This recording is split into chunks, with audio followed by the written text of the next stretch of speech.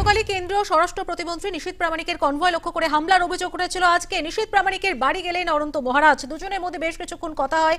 কি কথা হচ্ছে একটু জানার চেষ্টা করব। টেলিফোনে রয়েছেন আমাদের প্রতিনিধি হীরক রায়। হীরক, দুজনের মধ্যে আজকে কি বিষয়ে কথা হচ্ছে কিছু জানা যাচ্ছে?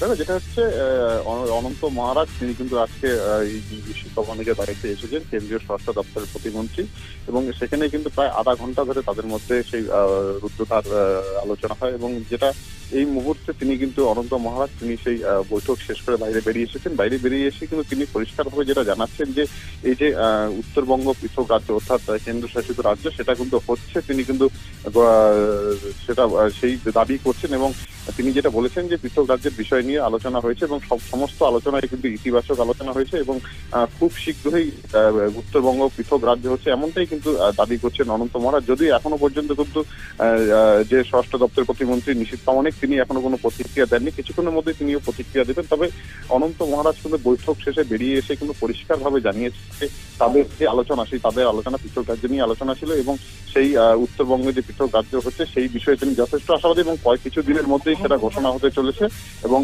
সেই সেই বিষয় নিয়ে কিন্তু আজকে তাদের আলোচনা। ধন্যবাদ, হীরক। টেলিফোন লাইনে ছিলেন আমাদের প্রতিনিধি হীরক রায়। নিশীত প্রামাণিকের বাড়িতে আজকে গিয়েছেন অনন্ত মহারাজ এবং নিশীত প্রামাণিকের সঙ্গে বেশ কিছুক্ষণ রুদ্ধদ্বার বৈঠক হয় তার।